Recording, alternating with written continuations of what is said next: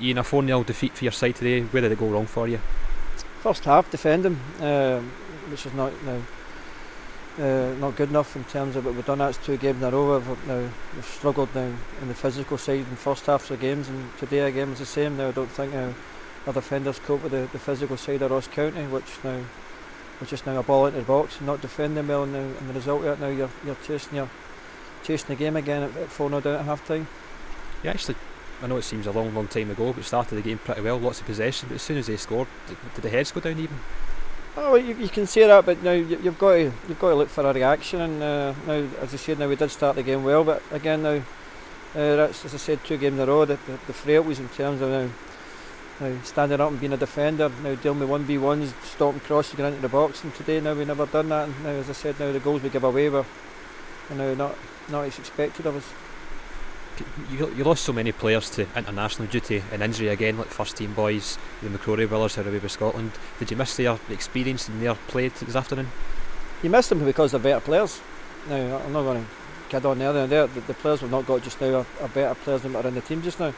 Uh, again, but again, so now, now Ross County had a young team as well, so I wouldn't say they were the most experienced, but they seem to deal with the conditions. That now they, they showed a bit of desire when the ball went into the box, which I thought now our defenders if never they showed the same desire they did in the second half and had a clean sheet. If they'd done that in the first half, I think have been a totally different game. But now you can now say all ifs and buts. But now again, we weren't good enough in terms of defending our goal. The afternoon just com- compounded really late on with the, the, red card for young Jamie. What did you have a view on that? Yeah, he reacted. Now it was a shocking tackle in the first place, but he reacted to it. And uh, i have got no complaints now. Obviously, he's lifted his hands up. Now again, now he's the wee man showed a bit of desire now, albeit now he's he'll get his knuckles wrapped, but again now he shows the, the, the desire, he with a, a, bad tackle. And I just wish now some of the other boys would have the attitude of Jamie Brandon at times. What would you be able to say to the boys at half time, 4 0 down? Was it a case of damage limitation or try to find a way back in?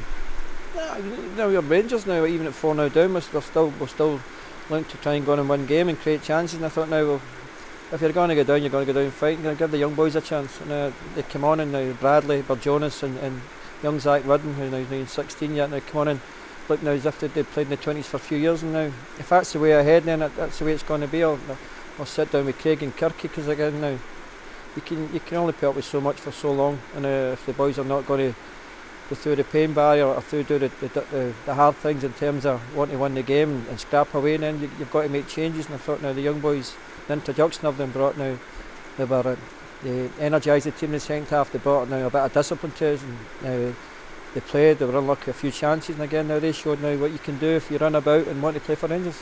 Those three young boys that came on this afternoon, are they giving you real food for thought ahead of a really difficult game at Aberdeen next week? Of course they have, but again now the Kirky's getting now he's been different class with in terms of the personnel he gave us this year, and again now they've got difficult games coming up, so we'll, we'll need to sit down again and review, review the situation, and we'll, we'll see how the boys have come back from international duty, see how they are now. They've they've played a lot of games now, hard games and away in difficult countries. So again, we'll just have to sit down. But again, now uh, I'll be at the four now. The, the four young boys, especially now for being age of 16, now showed now what what I want in terms of commitment and desire to play for this club.